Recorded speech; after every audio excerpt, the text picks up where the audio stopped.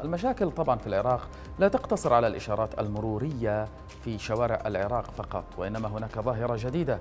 هي ظاهرة انتشار الجاموس التي تحدثنا عنها قبل فترة في سامراء بسبب وافدين من مناطق أخرى والتي راح ضحيتها عدد من المواطنين.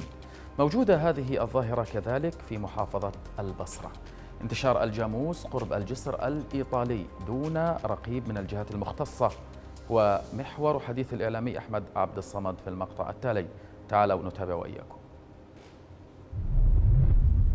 صباح الخير من أمام الجسر الإيطالي الجسر الجميل وسط البصرة. وتحت الجسر الجاموس يسرح ويمرح.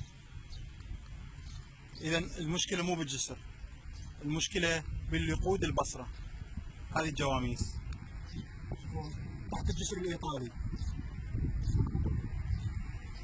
شو نسوي ما تقول لي يعني. البصرة بصرة الجواميس العاقل يفتح.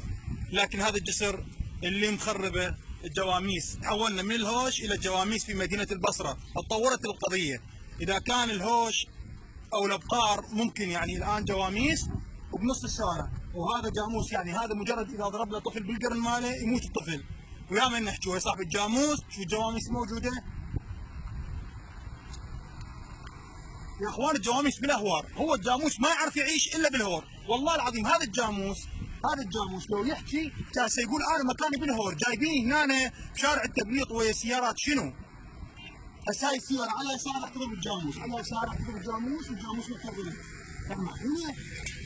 لكم هذا الجاموس لو عنده لسان قلت لكم مكاني مو هنا. هذا بر مائي هذا شغلته ماي شغلته بالأهوار شغلته الحشيش مو شغلته بالشارع.